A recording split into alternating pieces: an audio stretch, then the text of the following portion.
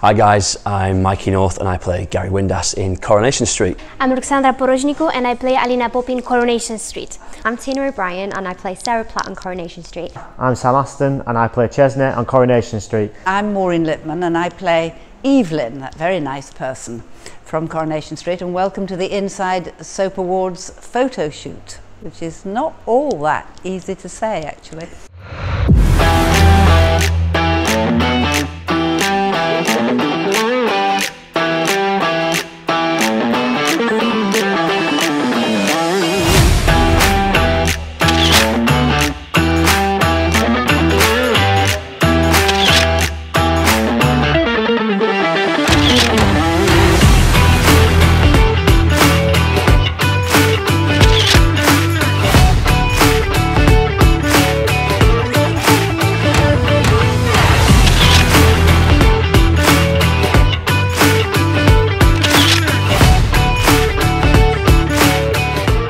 His wife, Marty.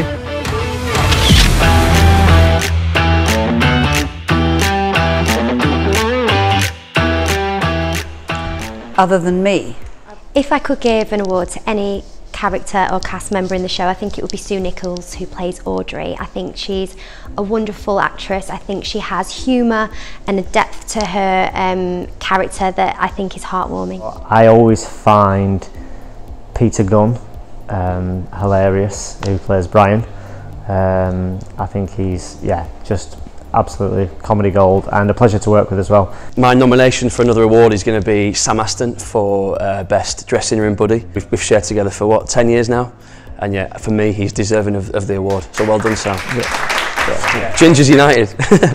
For my story in particular, I think I would choose Verity Henry. Uh, she's playing Rachel in Alina's story and I would give her I think the Angry Bird award because she's all the time angry when she sees me she's all the time go and clean your section what he's doing here like that would be the perfect award for her I'd probably give it to, to um, the character uh, known as Cerberus, uh, whose real name is Boss. He's a greyhound uh, cross Saluki and uh, he does it for liver, which a lot of actors you know, probably would balk at.